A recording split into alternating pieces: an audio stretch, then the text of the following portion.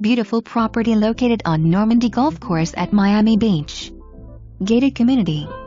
A few blocks from the beach, enjoy the feel of an extended backyard with a golf course view stretching on for miles. The community has four tennis courts, restaurant and playground area.